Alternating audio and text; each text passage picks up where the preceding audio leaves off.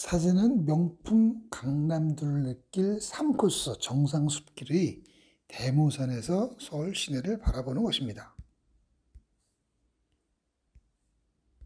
2024년 4월 23일 2737일 명품 강남둘레길 3코스, 2코스 두 개 걸었고요. 데일리 퍼즐 2416일 3코스 보겠습니다. 어, 도곡역에서 세곡교, 세곡천 세곡교까지 어, 한 6km 조금 넘는 구간이고요. 한 100분 정도 걸렸습니다. 강남구에 이런 좋은 숲길이 있다는 것에 깜짝 놀랄 정도로 길은 걷기 좋습니다. 이게 이제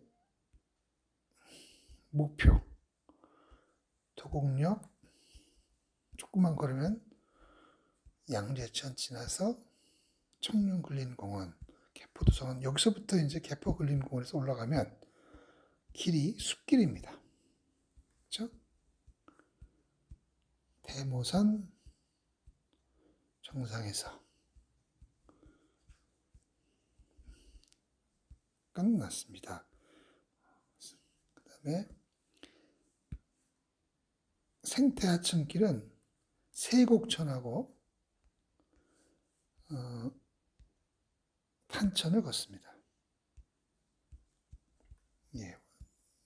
여기도 혹시 강남인가 할 정도로 천은 좀 시골 같은 분위기도 있습니다. 그 데크가 아주 잘 정돈이 되어 있습니다. 수서역에서 마무리했습니다. 2024년 4월 23일입니다.